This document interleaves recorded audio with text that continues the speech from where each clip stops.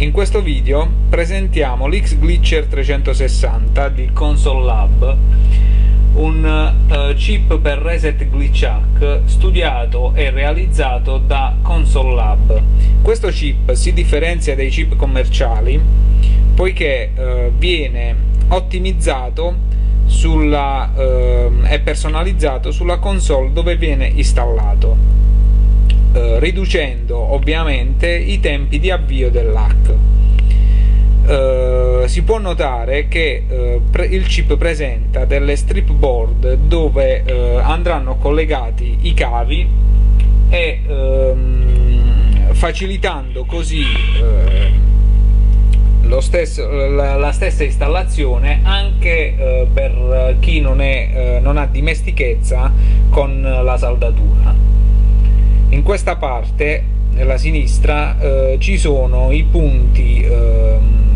la, la, strip line o i punti da saldare sulla eh, main board dell'X360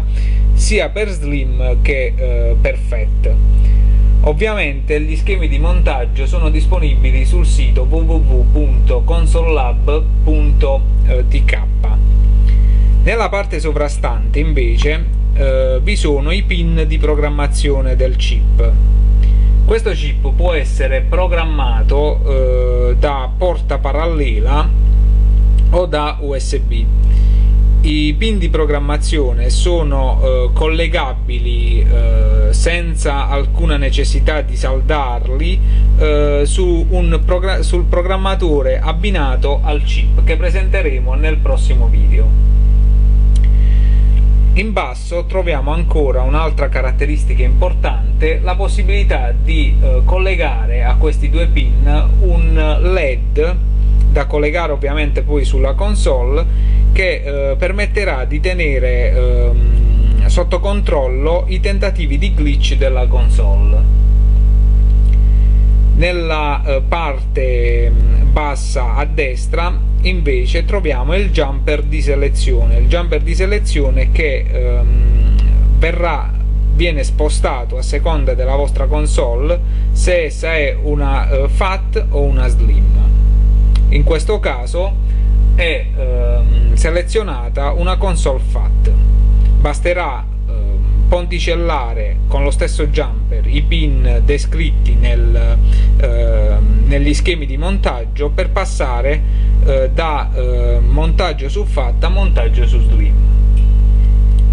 nella parte, ehm, nella parte centrale troviamo eh, il ehm, chip vero e proprio il chip che è un Oxylinks ehm,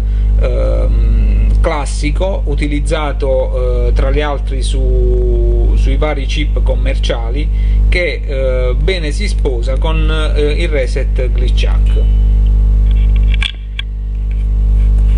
In alto eh, a sinistra troviamo la eh, pedinatura dei pin da collegare quindi selezione fat o slim e glitch led il chip come vedete è ehm, realizzato su basetta mille fori. Questa basetta eh, viene consegnata già con eh, nastro eh, adesivo che ne permette l'isolamento e eh, la perfetta installazione sulla console infatti eh, nel momento in cui eh, verrà installato sulla console verranno semplicemente eh, tolte le eh, protezioni dal, dalla parte adesiva e eh, il chip verrà letteralmente appiccicato su, ehm, su qualsiasi parte ehm, in cui l'utente desidera installare il chip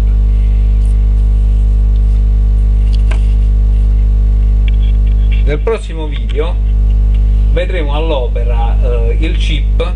su una console e il suo comportamento